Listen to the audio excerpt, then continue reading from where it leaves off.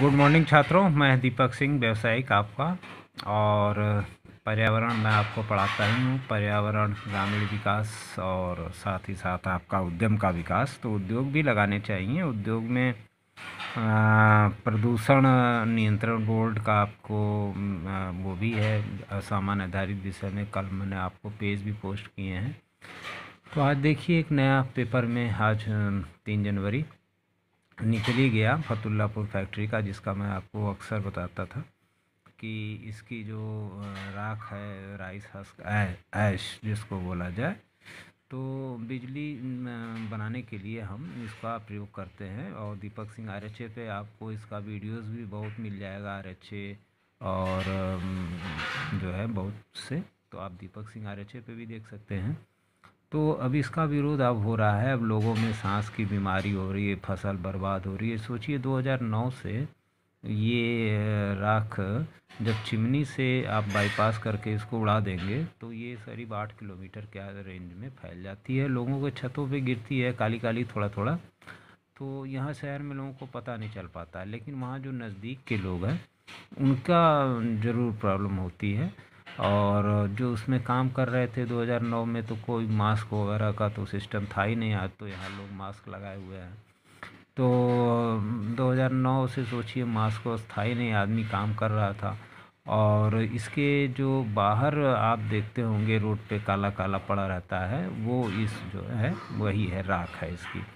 तो धान की भूसी इसमें बेसिकली होता क्या है कि इसके अंदर बत्तीस सौ किलो कैलोरी ऊर्जा होती है। उस ऊर्जा को ये निकाल के हीट एनर्जी से पानी को गर्म करके और भाप बना के टरबाइन चला के 11 किलो वोल्ट पैदा कर लिया जाता है। इसको मैंने आपको समझाया भी है। आर एच ए करके कुछ आप देखेंगे वीडियोज़ में।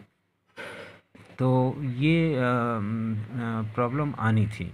आज नहीं, कल आनी थी। ये मैं शुरू से वीडियो से भी और कुछ पर्सनली भी लोगों से मैं कहता रहा, कई लोग मेरे पास आए कि छत पे सर ये काला काला क्या है, थोड़ा ही है। मैंने भी उसमें वीडियो मेरे आँगन में भी है और जबकि मेरी दूरी आठ किलोमीटर है।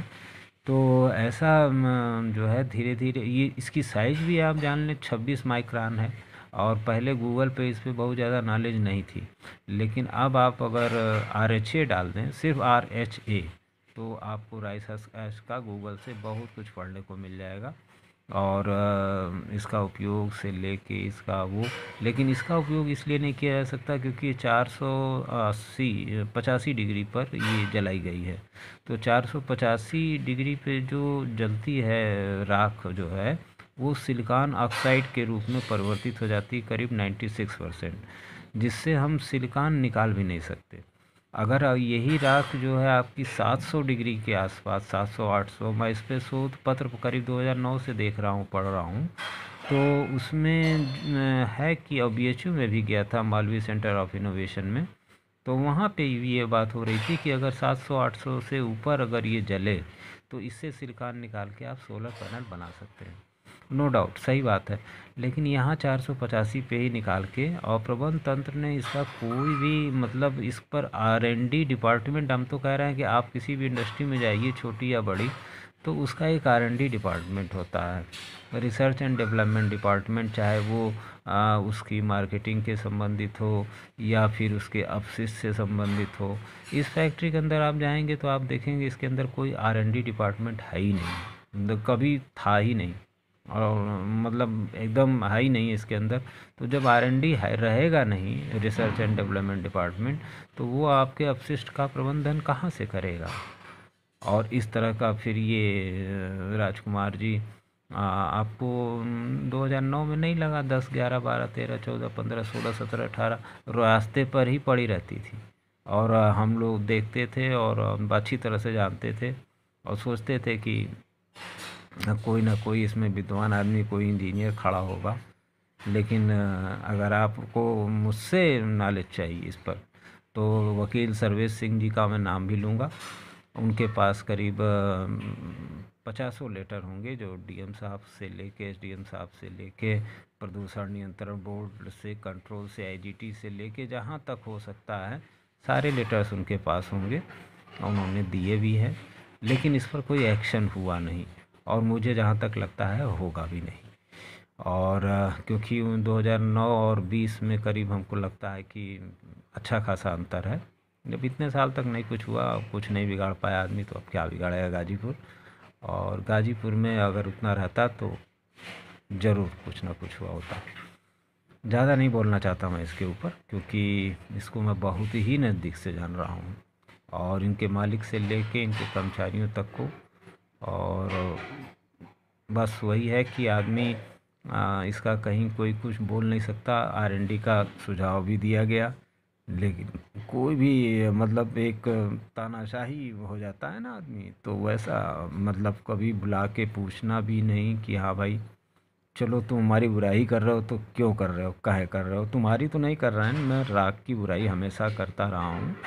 मैं मालिक की कर्मचारी की और मशीनरी की मैं खुद इंजीनियर हूँ तो मैं इनकी बुराई कभी नहीं कर सकता। आ, हाँ अपशिष्ट अगर आप निकालेंगे फेंकेंगे किसी के दरवाजे पे तो मैं उस अपशिष्ट की बुराई ज़रूर करूँगा। और उसमें नो डाउट कि ये 26 माइक्रान का जो है आर एच आप जो समझ रहे हैं ना ये जिसकी नाक में घुसा होगा ये फतुल्लापुर के हर आदमी के फेफड़े के अंदर मिल जाएगा। और हर पौधे जो मर गए हैं उनमें मिल जाएगा और ज़मीन में मिल जाएगा। जल ज़मीन, जंगल, जलवायु के एक यादव जी वहाँ पर ट्रस्ट भी उनकी मैंने बनाई है और उनको, उन्होंने भी कुछ मतलब उनको भी कुछ, वो भी लगे थे लेकिन बिरहाव रहा गाए थे सरजू पाड़े पार्क में। यादव जी आप मेरी बात सुन रहे होंगे और मुझे कोई डर नहीं है। जिस दिन मेरा मूड सनका तो मैं तो आके अनशन पर सीधे बैठ जाऊँगा। क्योंकि ये प्रदूषण आज का नहीं है, ये करोना का बाप है। और इसके अंदर जो लोग हैं अपनी ज़िंदगी, वो धीरे धीरे एक समय आएगा कि इनकी पाँच साल छः साल उम्र कम हो जाएगी। उतने पैसे से हमें क्या फ़ायदा कि जो पैसा हमें मिले और हमारी उम्र ले ले?